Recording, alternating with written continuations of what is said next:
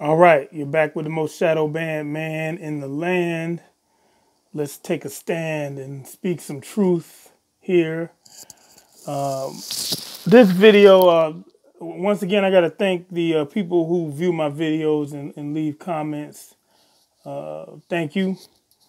I will be getting to them as soon as they arrive because uh, I just, I just, I get comments sporadically, and, and at times I don't know whether they're old but um, I had one viewer, a long-time viewer, who said that my latest videos, uh, he he subscribed, he hit the bell and everything, and, and none of it showed up in the feed, and it just he he actually he said you're right about being the most shadow banned man in the land because um I guess apparently he might have checked my channel too, and they were he didn't I guess he didn't see him as soon as I uploaded them, so I don't know what's going on with that. I, I'm not really uh, too tech savvy when it comes to these, um, you know, YouTube and Google matters. But from what I've been reading, they are, you know, that's what they're doing. They're shadow banning people who actually do make truth content, uh, left or right.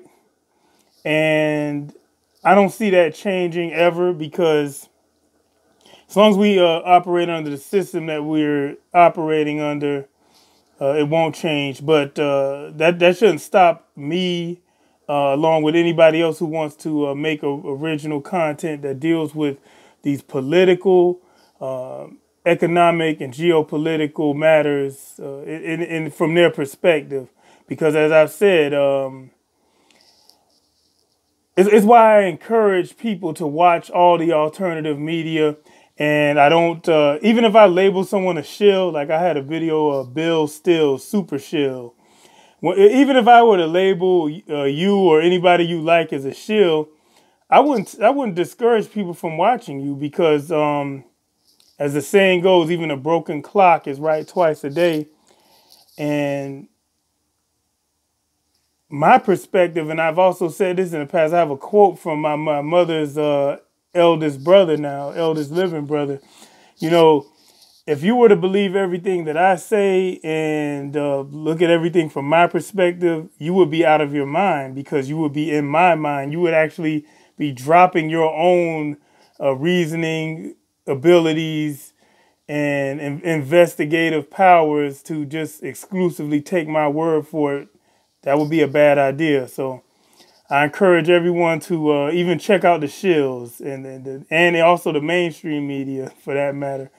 Uh, it's, it's the only way to know anything about anything um, that happens in the world that you can't see with your own two eyes. You know, you have to um, accept other people's uh, confirmation and perspective on certain issues, uh, unless you're a total uh, uh, skeptic. You know, unlike the skeptic community on YouTube, skepticism is actually a philosophical school of thought that encourages um, the questioning of reality.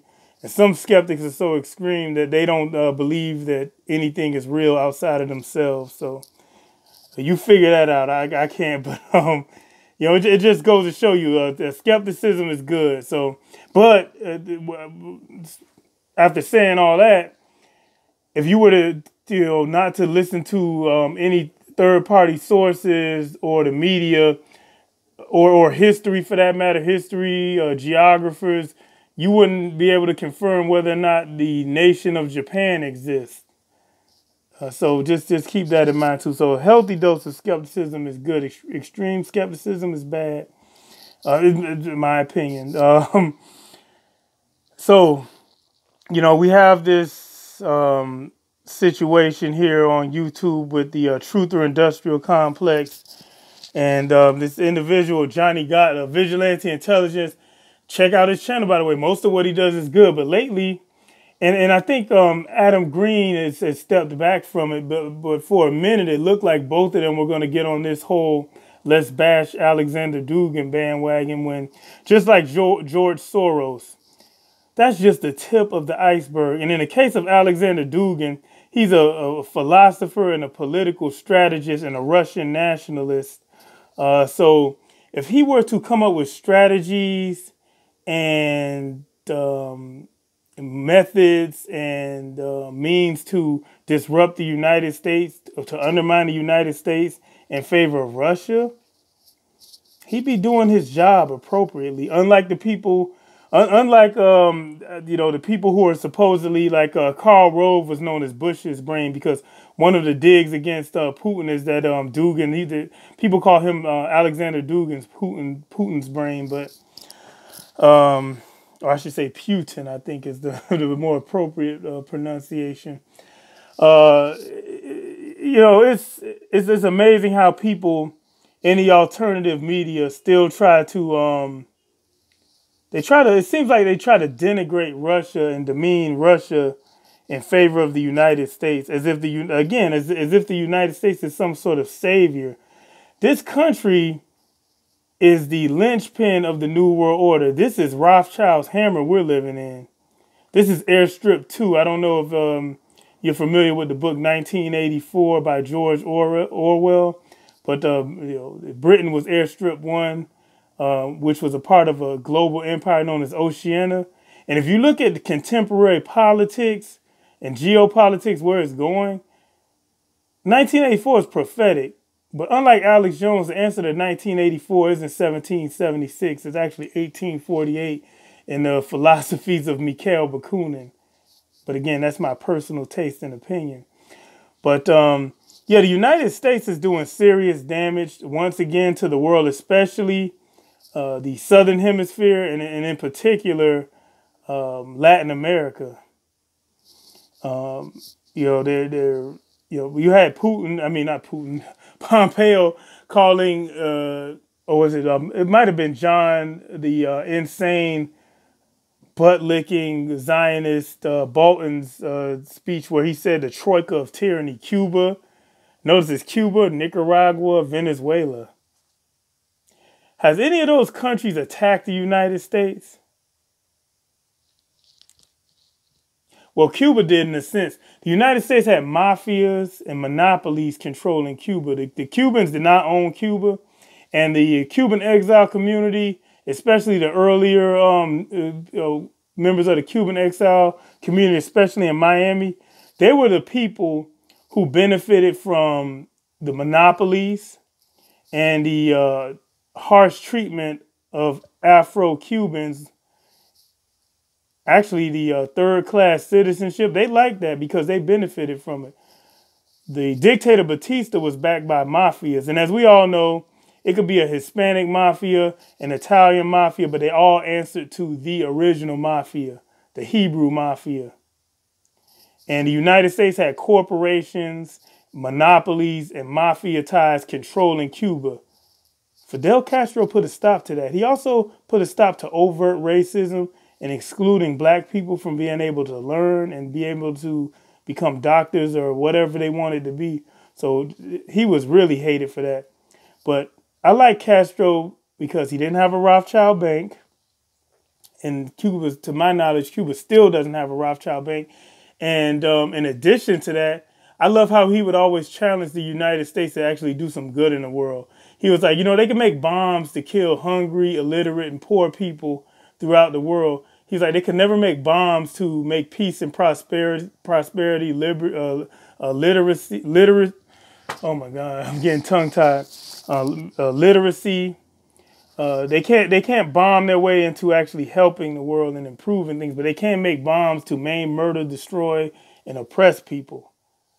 That's the specialty here in the United States. That's that's the only thing we really our manufacturing that that we really lead on. And again, by the way, the stocks that you people can invest in are tied to the military industrial complex. But um, in addition to that, the United States also bullied uh, Maurice Bishop um, in uh, Grenada, I believe, is the Car- Caribbean island that wanted to become socialist. That the United States said, "Hey, hold on, you can't choose your own government." So the United States is at it again. They put Juan Guaidó in the gallery during uh, uh, Donald Trump or, or DJ Chump. I, I, I, promise I wouldn't insult him anymore, but I just I just have to. He's such a pig. Uh, DJ uh, Trump uh, actually hacked this Guaidó bum in the gallery and calling him legitimate president of Venezuela. By the way, upon his return, he was pelted with eggs and other things, which was good. I wish I wish that the uh, Venezuelan people could get their hands on him and, and just tear him limb from limb because, and, and, and to me, he actually looks like a crypto uh, tribe member. He looks like he's a Hebrew, but um, I couldn't gather any information on that. But one thing's for sure, he's a total boot and butt licker to the United States, which makes him an even more of a, of a slime ball and even lower because the United States licks the boots and butt of uh, Netanyahu and his tribe and his uh, Chabad Lubavitch maniac crew. But um, yeah, so the United States, and, and, and, and this is what I don't like about uh, Johnny Gat and why I unsubscribed from his channel. I still watch his content, but I won't be numbered among his subscribers because this guy actually has the nerve to um, imp- imply that the United States and the people of this country well, I'm going to start referring to most people here in this country as meat and strudel sacks because that's pretty much. I mean, the people at my job, uh, you know, God bless them. I, I like them uh, on a personal level. I think I like mostly everybody at my job. Um, I don't have any problems, and I work with hundreds of people, uh, or at least there's hundreds of people on the roster. So, but I mean, people, it, it's sad, but they're, they're most of the people from my observation, they're just meat machines. Uh, the the mainstream media programs them and and the uh, indoctrination education system, and they could never break out of it seemingly. And again, you could show people all the evidence in the world because what what Johnny Gat is doing now is he's uh, demonizing socialism using the Bolsheviks, using Marxism, which we are. If you pay attention to my channel, I always tell everyone that there were other socialists, socialist philosophers, thinkers, communities throughout the I'm going to say four continents on the world because as you all know, I don't think um, I don't count Australia as a continent. And for me, the uh, what we call the Americas used to be totally connected via a land bridge that led from you know present day Mexico all the way down to Colombia. And remember, Panama was not considered a part of North America until they built the Panama Canal because Panama was actually a part of Colombia. So, you know, go figure. But across the world, most, especially when you get outside of systems, let's let's let's go back briefly to um, even Europe before the advent of the Roman uh, Empire. There was a quote unquote Celtic empire, but it really wasn't an empire it was an ethnic group that dominated the European continent because they had certain advantages that the people that inhabited the continent before them didn't have. They were part of the original Aryan uh, migration. That um, these Aryan people, these ancient Aryans, were the first to domesticate horses, which gave them a big combat advantage over most of the people uh, around the world. They they started out in Central Asia too, by the way. So once you get the, to the Romans and prior, most people around the world lived in semi, if not outright communism, but communalism.